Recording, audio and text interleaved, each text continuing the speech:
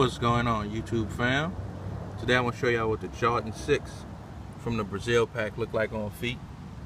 Uh, if you follow me on Instagram and Twitter, you saw I copped the Brazil pack. And the only way I was getting this pack, I told myself if I, if I could get it under retail. Because I wasn't a fan of the CP3 that they kind of forced us to get if you really wanted the 6. So I just waited, waited, waited. And I came across a seller who had them. And I guess he thought he was going to be able to make a nice killing and a profit off of them.